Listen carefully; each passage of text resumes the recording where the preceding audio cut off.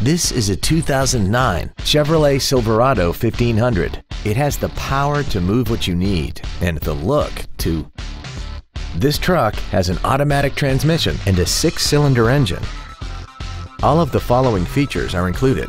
Air conditioning, cruise control, a CD player, a passenger side vanity mirror, a driver airbag, a bed liner, running boards, and this vehicle has less than 60,000 miles.